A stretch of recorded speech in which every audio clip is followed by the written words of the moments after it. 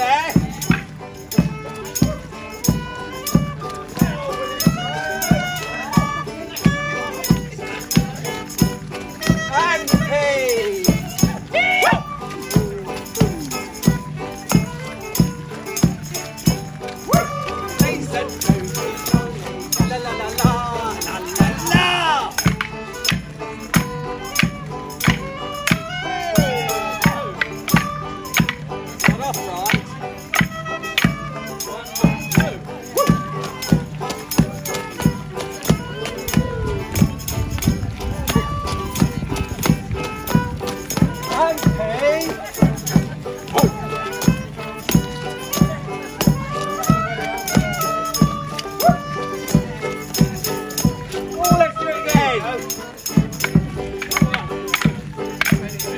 previous there.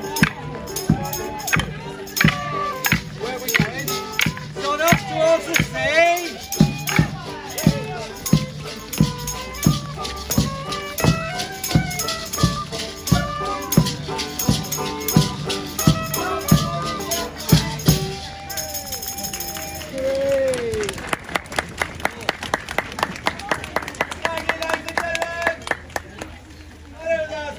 Good luck! And a big cheer to Jenny. who's the first.